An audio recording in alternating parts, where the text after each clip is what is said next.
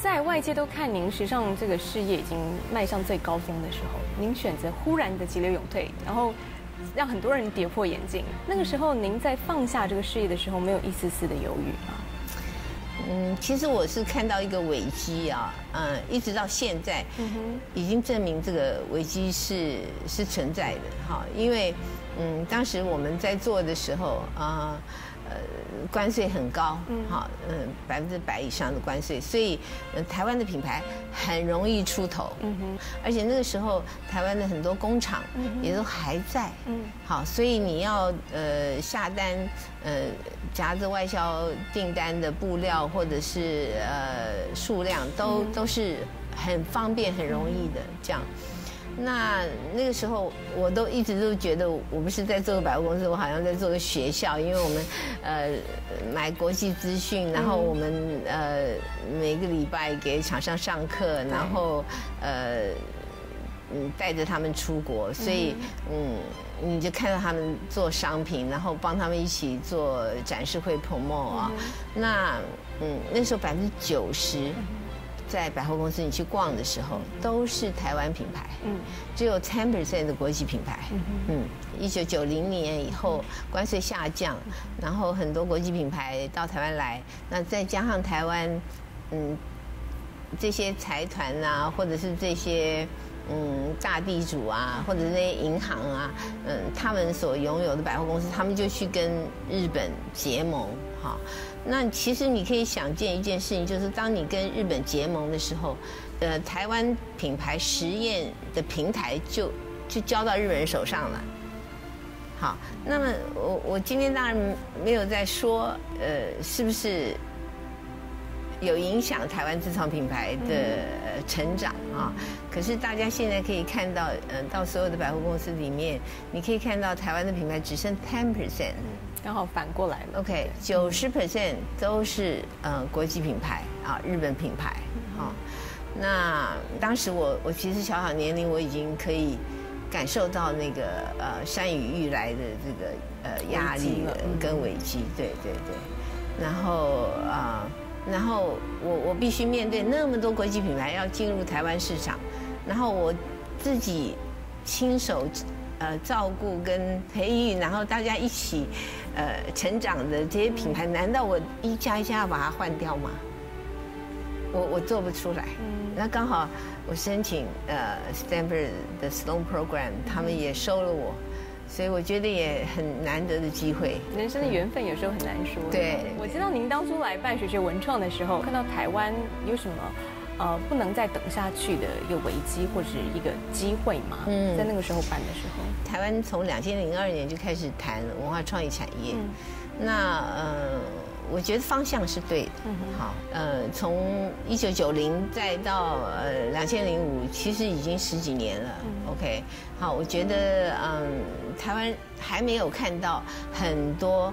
呃，代工思维的转变，好，那台湾如果再不开始呃做自创品牌，呃这件事情，我觉得是是不对的。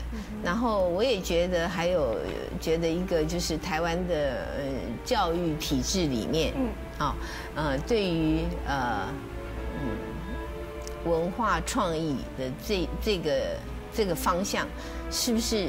呃，有全面的在鼓励，好，我觉得也没有看到那个时候，所以我觉得，呃，应该要赶快成立一个体制外的呃平台，教育体制外的选修大平台。嗯，所以你想要了解文化创意产业的任何一个产业，你都可以到我们这边来，你马上就可以见到那个产业里面最精英的、最领头的呃。这个创意人，或者是大师，或者是呃经营者里的董事长、总经理这样。了解。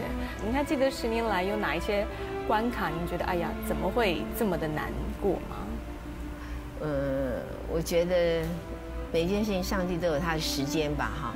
嗯，当然在这十年中间，觉得很多的困扰，哈。比如说日本濑户内海的艺术季，他是十八年的一个县长去去。支持做出来的，那我们这边如果不管部长或局长都都年年换的话，是要怎么做事啊？对，政策也不延续，哈，人脉也不接续，这样子是真的很困难的。对，有时候大环境吧。其实这几年提到文创两个字，大家都觉得哇，现在似乎什么都可以叫文创。那您自己怎么看这样的现象呢？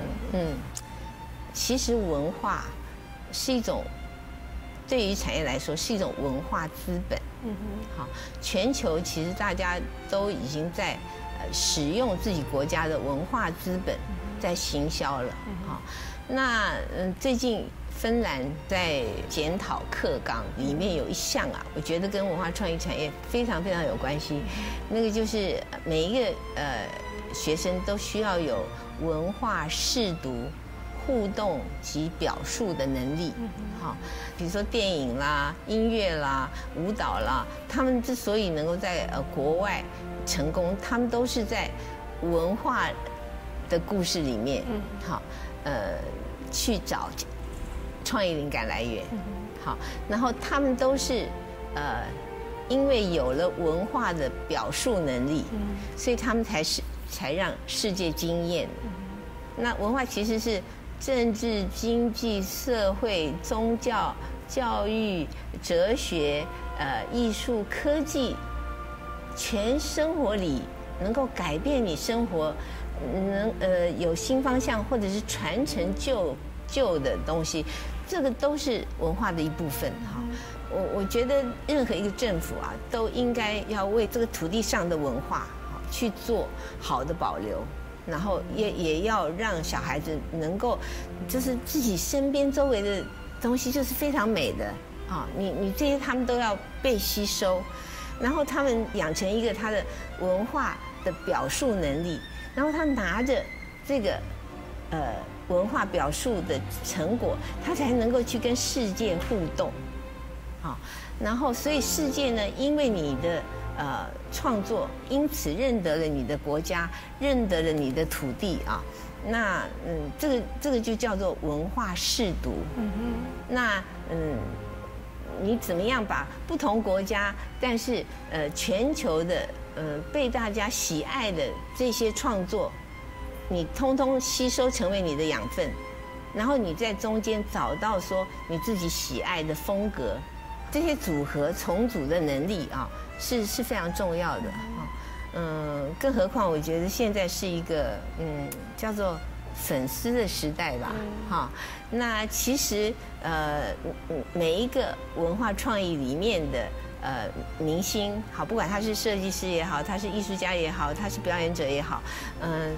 他都是有一个粉丝群的，好。那么，如果你你的你自己呃创作的可以跟他对应，或者跟他是走在同一个粉丝群里面的，甚至你去找他来帮你设计，跟他 cross over，跟他跨界合作，其实你就是在呃接引他的消费者，嗯，来欣赏你自己的作品，嗯，好。所以这种文化试读、互动、表述。嗯就是一条，呃，康庄大道，嗯也是台湾就是现在呃要放入呃课纲里的，我觉得非常重要。嗯哼，所以其实您也点到了吧？或许台湾文创现在很重要的一个问题是，没有从从小教育就开始扎根嘛？是是是，所以台湾的问题在哪里？是台湾是创作者不缺，嗯，OK，台湾是欣赏者很缺，嗯。那嗯，我也觉得，就是所有的年轻人，真的也要自己要，你先要让你自己的生活丰富吧。嗯。好，如果你自己的生活都不丰富，那你拿什么作品去感动比你生活经验丰富的人？那是很困难的。的确。所以，但讲到这边，那我就很好奇了，您自己是怎么教育您的小朋友的呢？